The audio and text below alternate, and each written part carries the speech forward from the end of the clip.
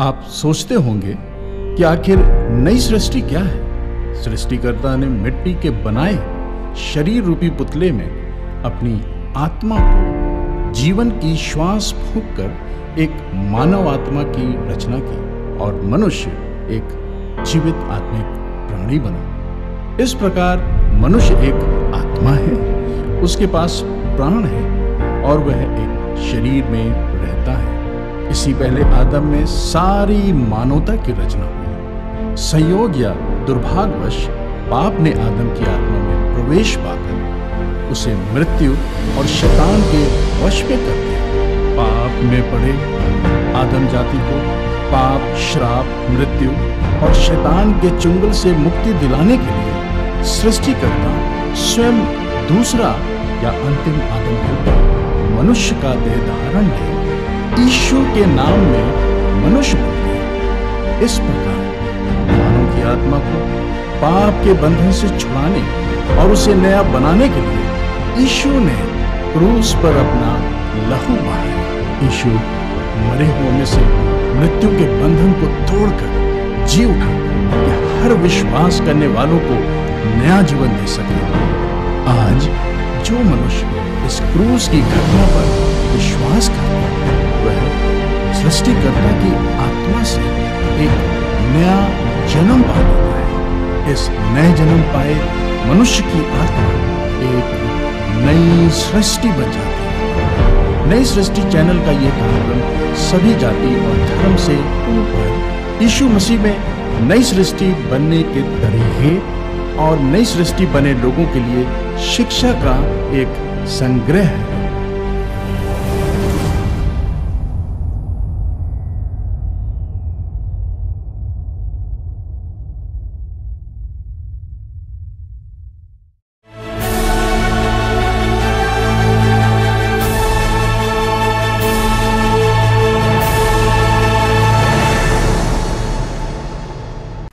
नई सृष्टि के इस कार्यक्रम में, यीशु मसीह के मधुर नाम में अपने सभी दर्शकों का हम हृदय से स्वागत करते हैं।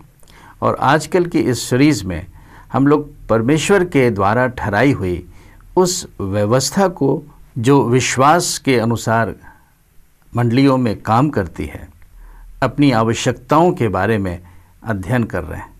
कि जैसा प्रभु यीशु मसीह ने कहा कि पहले मेरे राज और धार्मिकता की खोज करो तो सब कुछ, जो कुछ तुम्हें आवश्यक है, वो तुम्हारे अकाउंट में दिया जाएगा।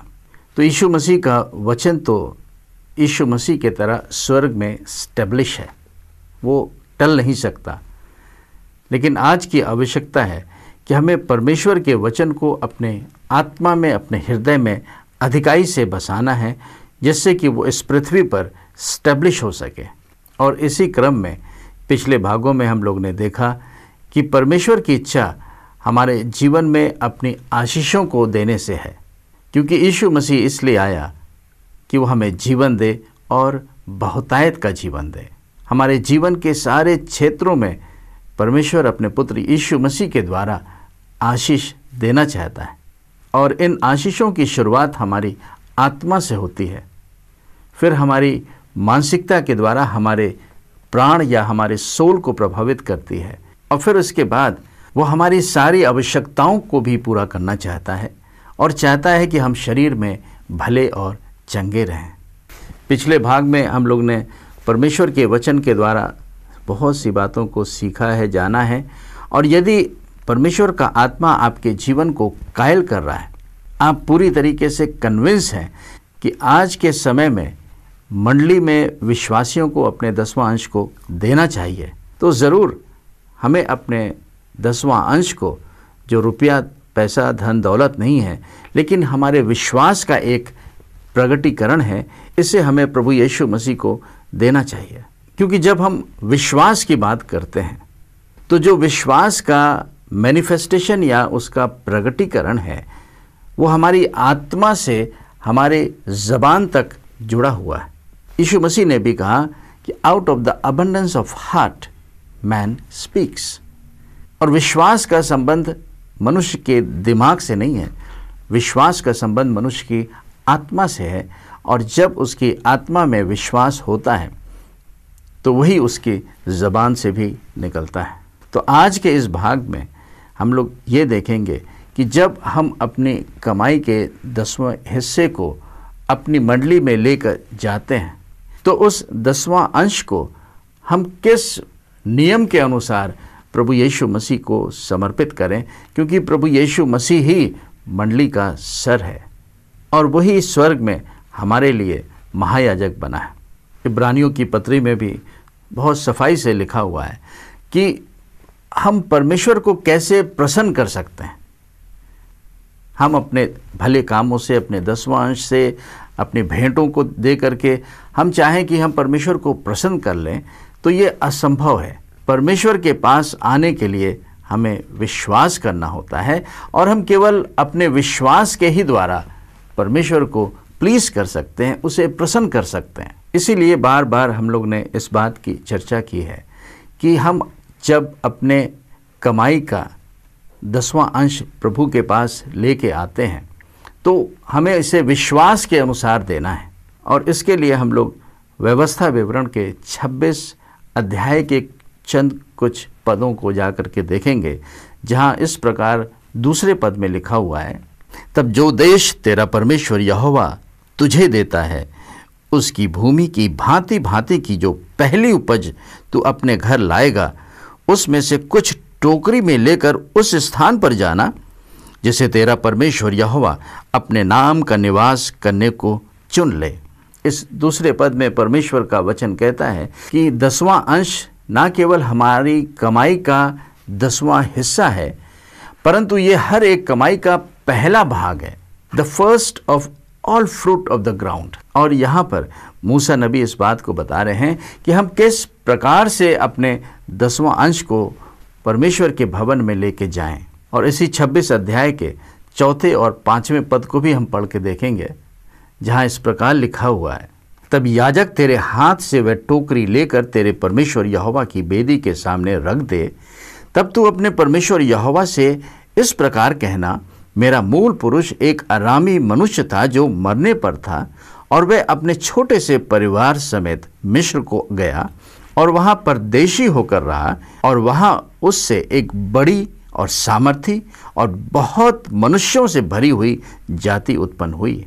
इस चौथे पद में मूसा नबी यहूदियों को या इसराइलियों को एक इंस्ट्रक्शन दे रहे हैं कि जब तू अपने दसवां अंश को टोकरी में ले करके परमेश्वर के भवन में याजकों के पास जाना तो उन्हें अपनी वस्तुओं को यूँ ही मत दे देना, लेकिन देने के साथ तुम्हें कुछ कहना होगा कन्फेस करना होगा, अंगीकार करना होगा। और जब हम अंगीकार की बात करते हैं कन्फेशन की बात करते हैं तो एक मानसिकता जो हमारे जीवन में चली आई है कि कन्फेशन हमेशा पाप का ही होता है। लेकिन चार प्रकार के कन्फेशंस होते हैं जिनकी चर्चा हम लोग नए नियम में फिर कभी करेंगे। और उन्हीं में से एक अंगीकार है, जिसे कन्फेशन ऑफ़ फेथ कहते हैं। हमारे विश्वास का अंगीकार। और यहाँ पर मूसा नबी इसराइलियों को इसी फेथ कन्फेशन या विश्वास के अंगीकार के बारे में बता रहे हैं और ये कह रहे हैं कि जब तुम अपनी टोकरियों को लेकर अपने दसवां अंश को लेकर के, पहली उपज को लेकर आना तो परमेश्वर यहोवा के सामने इस प्रकार से कहना। उससे बताना कि तुम्हें किस प्रकार से परमेश्वर ने अंधकार के वश से छुड़ाकर अपने प्रिय पुत्र यीशु मसीह के राज्य में प्रवेश करा दिया है। इसी में अगर हम लोग आठवें पद से ग्यारह पद तक पढ़ेंगे, वहाँ भी लिखा हुआ है, और यहोवा ने बलवंत हाथ और बढ़ाई हुई भुजा से अति भयानक चिन्ह और चमत्कार दिखलाकर हमको मिश्र से निकाल लाया और हमें इस स्थान पर पहुंचाकर यह देश, जिसमें दूध और मधु की धाराएँ बहती हैं, हमें दे दिया। अब हे यहोवा, देख, जो भूमि तूने मुझे दी है, उसकी पहली उपज मैं तेरे पास लाया हूँ। तब तो उसे अपने परमेश्वर यहोवा के सामने रखना और यहोवा को दंडवत करना। और जितने अच्छे पदार्थ तेरा परमेश्वर यहोवा तुझे और तेरे घराने को दे, उनके कारण तू लेवियों और अपने मध्य में रहने वाले परदेशियों सहित आनंद करना। इस हिस्से में मूसा नबी ने इसराइलियों को ये नियम दिया कि किस प्रकार से हमें अपनी पहली उपज या अपने दसवां अंश को परमेश्वर यहोवा के भवन में देना है। और ये देना विश्वास के साथ देना था। और इस विश्वास के अंगीकार के बारे में पौलुस भी दूसरे क्रंथियों उसके चौथे अध्याय के तेरह पद में कहते हैं, क्योंकि हमने वही विश्वास का आत्मा पाया है, इसलिए मैं बोला। तो विश्वास करने का मतलब ये होता है कि हम विश्वास के अंगीकार को करते हैं। परमेश्वर के वचन को जो हमारी आत्मा में है, उसे विश्वास के द्वारा अपनी ज़बान से रिलीज़ करते हैं। और यही मूसा नबी भी इसराइलियों को बता रहे हैं कि जब तुम अपने दसवां अंश को, पहली उपज को लेकर के परमेश्वर के भवन में जाना तो इस प्रकार से बोलना कि परमेश्वर यहोवा ने उन्हें किस मुसीबतों से, परेशानियों से छुड़ा करके अपने एक ऐसे देश में प्रॉमिस लैंड में लाया है, जो दूध और नदियों का देश है। और इन तमाम वस्तुओं को जब परमेश्वर के पास लेके आना तो इसके द्वारा तुम परमेश्वर का दंडवत करना, उसे वर्शिप करना, उसका धन्यवाद चढ़ाना। और फिर इसके आगे ग्यारह पद में लिखा है कि सबके साथ मिलकर के आनंद करना। तो दसवां अंश या टाइथ जब हम परमेश्वर के भवन में लेके जाते हैं तो इसे हम दुख और कष्ट के साथ नहीं दें, लेकिन हम आनंद के साथ दें, क्योंकि हमारे आनंद में हमारा विश्वास जुड़ा है। और फिर धन्यवाद के साथ हम परमेश्वर पिता को प्रभु यीशु मसीह जो हमारा महायाजक है, उसके सम्मुख हम वर्शिप करें, उसका धन्यवाद करें, उसकी आशीषों के लिए कि उसने हमें अपना अनंत जीवन दिया है। परमेश्वर ने अपना पुत्र दे दिया है तो हमारी और बाकी ज़रूरतों को क्यों ना पूरा करेगा? तो जो एटीट्यूड है टाइट को देने का या किसी भी ऑफरिंग को देने का, वो कुढ़न के साथ नहीं है, लेकिन हर्ष के साथ है, आनंद के साथ है, क्योंकि इसमें हम परमेश्वर का धन्यवाद करते हैं और उसकी आराधना करते हैं, उसे दंडवत करते हैं, क्योंकि दसवां अंश पवित्र है, ये परमेश्वर का है, और इसे हम लोग परमेश्वर के सम्मुख, अपने विश्वास के अंगीकार के साथ प्रभु के सम्मुख दंडवत करते हैं। तो आज के इस भाग में हम लोग ने देखा कि दसवां अंश परमेश्वर के सम्मुख लाना एक आनंद की बात है, क्योंकि इसके द्वारा हम परमेश्वर का धन्यवाद करते और उसकी हम आराधना करते हैं। और जब हम मंडली में दसवां अंश की बात करते हैं तो ये उन विश्वासियों के लिए जिन्होंने अभी तक अपने दसवां अंश को दिया नहीं है, उनके लिए ये बहुत कठिन है कि अपनी सारी कमाई से वो अपने दसवां अंश को दे पाएँ। क्योंकि जो भी इनकम आ रही है, जो भी आप कमा रहे हैं, उसका हम पहले से बजटिंग कर लेते हैं। हमें मालूम है कि कितना हमें इनकम टैक्स देना है, कितने बच्चों की फ़ीस देनी है, किस प्रकार से अपने महीने के खर्चों को करना है, बच्चों के फ्यूचर को देखना है, उनकी शादी ब्याह का इंतज़ाम करना है, घर बनाना है, इन सारे कामों को पूरा करने की ज़िम्मेदारी परमेश्वर ने हम लोगों को दी है। और इसलिए जब भी हमारे पास कमाई आती है तो हमारी कमाई का हिस्सा इन्हीं आवश्यकताओं के अनुसार बढ़ जाता है। और इसलिए दसवां अंश को शुरू करने का जो सबसे बढ़िया मौका है, वो तब है जब आप अपने फाइनेंशियल क्राइसिस के टाइम में होके गुजरें। सबके जीवन में आंधी और तूफ़ान आते हैं। इस जहाक के जीवन में भी जब अकाल पड़ा, तब उसने अपना सारा बीज बो दिया और परमेश्वर ने उसके बीज को सौ गुना बढ़ाया। तो यदि आज आप अपने जीवन में आर्थिक रूप से कष्ट में होकर चल रहे हैं। तो इस क्राइसिस को आप एक अपॉर्चुनिटी लेके चलें और उस घटी से जब आप अपने दसवां अंश को परमेश्वर के पास लेके आएँगे, तब आप परमेश्वर के कामों को अपने फाइनेंस पे भी देखेंगे। और जब आपके पास बहुतायत की आशीष होगी, उस समय आपको अपना दसवां अंश निकालना कठिन नहीं होगा, लेकिन तब आप उसे आनंद के साथ विश्वास योग्यता के साथ, धन्यवाद और स्तुति के साथ परमेश्वर के पास लेकर आ सकते हैं। तो जीवन में जब फाइनेंशियल क्राइसिस होती है तो वो बेहतर टाइम होता है कि हमें अपने दसवां अंश को देना शुरू कर देना चाहिए। और इसकी शिक्षा भी हमें अपने घर से शुरू करनी चाहिए, अपने बच्चों से। क्योंकि बच्चे जो अपना पॉकेट मनी पाते हैं, उससे जब वो अपने दसवां अंश या टाइट को निकालते हैं तो इसके बाद जब वो अपने जीवन को शुरू करते हैं, कमाई को शुरू करते हैं तब उन्हें अपने दसवां अंश को देने में कोई भी कष्ट नहीं होगा।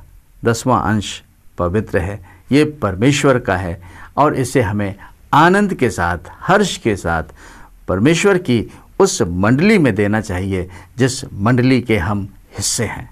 इस भाग में हम लोग ने दसवां अंश के बारे में जाना है। दसवां भाग जो है वो कमाई का दसवां हिस्सा है। नब्बे प्रतिशत आपका है, जिस नब्बे प्रतिशत को जो आपकी कमाई का है, वो आप अपनी इच्छा के साथ इस्तेमाल कर सकते हैं।